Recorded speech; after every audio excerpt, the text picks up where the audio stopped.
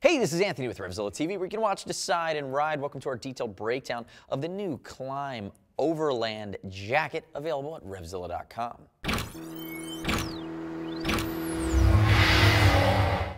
So the Overland falls into the Klim food chain as a more lightweight version of something like the Latitude. In recent years, we've seen the Latitude, we've seen the Badlands Pro. The Overland is going to be full-scale Gore-Tex. It's a two-liner, it's a two-layer construction, and remember, it's an outer shell. The Gore-Tex liner is not removable. Waterproof, breathable, guaranteed for life. You're investing in Gore-Tex because it keeps you shielded from Mother Nature, but also allows you to breathe. Remember, I did mention technical outer shells, which is what Klim does. They let you choose whether it's a thermal liner or how you want to beef up your base and mid layers underneath, but really they're meant to be four-season pieces of apparel. The Overland also takes a lot of its inspiration from something like the Traverse, which was an off-road enduro piece that a lot of people were using on the street. The Overland is going to come with your D3O armor. It comes with everything you need to be right off the rack and rock solid. And watch our detailed breakdown video of the Overland pants that I have Peter wearing to my left as well. You're going to want to break them down. We did them in a separate video. Now keep in mind too, as you're seeing this first glance, click here, subscribe to Revzilla TV, leave us your comments. Love to hear your questions as well. Let's dive right in on sizing. So Peter, 6 foot 195, 42 inch chest. He has actually a little bit more muscular legs as well on this outfit. You can see the way he's filling it out, but he's wearing a size large. It's the same size size that Peter wears in the Traverse. We find the fit is not that much different. One of the things we did know, and if I'm noticed, and I'm going to nitpick it a little bit, is if Peter raises his arms, it's a little bit boxy down here under the arms. they've changed the vent configuration. I'm going to show that in a second. But if you can see how it hangs, love to see some maybe some cinching on this jacket. I'm not sure how we could slightly pull that off. I'm going to send that feedback back up the flagpole to Klim. But also keep in mind we ship for free and exchange for free. No restocks. You need to send it back. So don't fret if the only place you can find it with is us online and you want to take that chance on sizing. Now, reeling back that for a second, let's talk a little bit more high level about this outfit. It's really four seasons, which means you're going to beef up the layers. You're waterproof, but you beef up your thermal layers underneath for the winter. But in the summer, you have plenty of ventilation that's going to be able to go through it and keep you cool. Spring and fall on motorcycling is typically easier times of the year for most people, depending on your temper or your tolerance for waterproofing. So the key things here, big changes over the Traverse. Down the arm, you're going to see there's big vertical vents now that are water resistant zippers that tie in with the Gore-Tex integrated waterproof laminate here. But there's your intakes on both sides. On the Traverse, they used to be under the arms. They're a little harder, a little bit more out of the way. Now you have a little bit more access to them. Basic hand warmer pockets on the front. And turn around, I'm going to show the back really quickly here. This is the big feature here for summertime riding.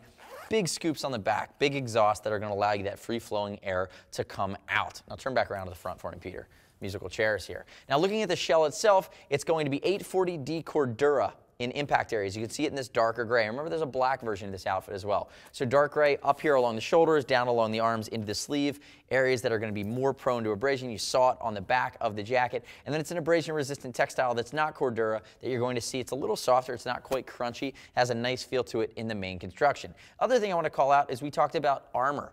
D3O armor included. And if you do the math, if you bought a Traverse, which is less street-centric and a much different style, and added the D3O to it later, it would actually be more expensive to do that. In the Overland, you're getting it all in one shot. So D3O Evo Armor XT, extended temperature. It's a molecular armor. On impact, it disperses the energy. You can see it's that orange armor. It's very flexible. It's very comfortable. But the XT rating means that even when you go really deep into the temperature range, it's still going to be comfortable against your body, and it'll still do its job in case of impact elbows, shoulders, well, reverse that, how about shoulders and then elbows, and you're also getting a CE level 1 back protector that you could upgrade, but it comes stock here in the back, which is a nice feature. Now looking up to the collar, some of the creature comforts and nuances, nice big fleece line collar here. Peter rocks a Traverse. He was mentioning to us that it works for him. It's a stand-up collar. This is really a multi-season touring style outfit. Big YKK zippers, Vislon pulls. Notice it was a two-way zipper, so if you're on an upright bike, you can give yourself a little room to flare it at the bottom. And also, if we look at the reflective scheme, this is something we're seeing come down the pipe from Klim. As they're looking at reflective, they're saying we want to make sure that the humanoid form can be recognized by somebody that's just seeing headlights hit a dark rider at night. So shoulders, elbows, forearms, down towards the sleeve. You're going to see it as you work your way down the pants. You see how that would light up and be bright and make sure that somebody has a better chance of knowing you're a person on a bike and they can stop accordingly. Velcro going all the way down with a snap at the collar basic on the inside. Remember, it's a technical shell. You're going to add your own layers to it. So mesh lining, iPod pocket, all YKK zippers throughout. Some cinching here on the bottom, but again, it's not going to do anything around those kidney areas. And you even have loops to be able to snake your iPod, um, your iPod or headphone wires all the way up. Now turn backwards for me one more time, Peter. I'm going to walk a little bit more in depthly through the back. Pull cinching here up along the back of the neck for the collar. We talked about that fleece lining. It's wicking Reflectivity, you see that with these big pulls, and then the drop seat that comes all the way down. Look at this. This cut is much more for an upright or three-quarter riding position.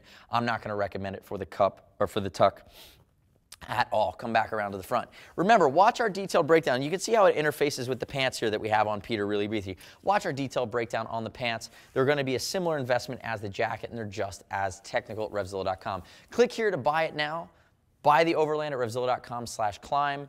You can also call and give our Gear Geeks a shout. Us at RevZilla.com or 877-792-9455. You want to compare and contrast it with something like the Latitude or even the top of the food chain, which is something like the Badlands Pro. I'm Anthony. Thanks for tuning in today. We'll see you next time.